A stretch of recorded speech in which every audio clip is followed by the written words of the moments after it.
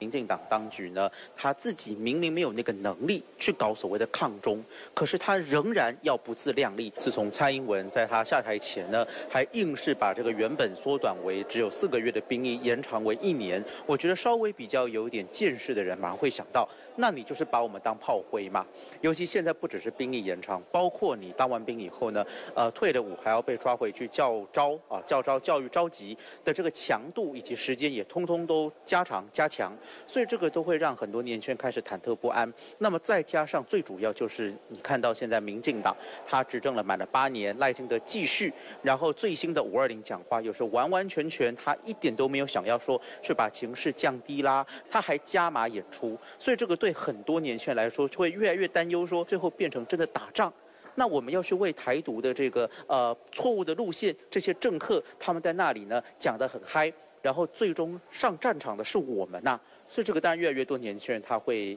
有所这个呃忐忑啦或者排斥啦，所以我想这个都是造成现在你看到军中非常不安啊，尤其是逃兵潮出现的一个主要的原因。